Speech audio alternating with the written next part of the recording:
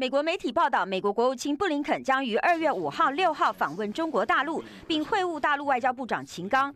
布林肯的访陆计划是美中领导人拜登与习近平去年十一月中面对面会谈时达成的共识。布林肯访问大陆是否进一步促进美中关系缓和，相当值得注意。布林肯此行可能还会推动解除禁止双方外交高层接触的禁令，包括恢复禁毒合作以及军事对话。大陆外交部长秦刚对布林肯访陆表达欢迎，并且预期能够继续和布。林肯紧密合作，以改善美中关系。这个讯号表明，北京当局愿意阻止美中关系继续下滑，以缓和美国的高阶晶片禁令以及美日军事同盟关系的加深。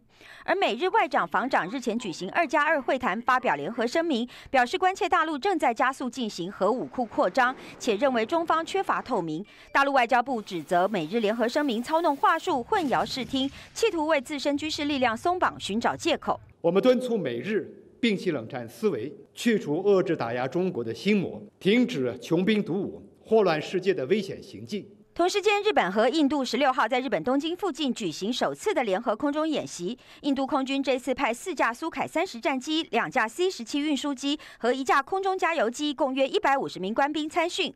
双方共同声明要加强安全和防务关系，联合面对中国大陆在亚太地区日益强硬的态度。记者综合报道。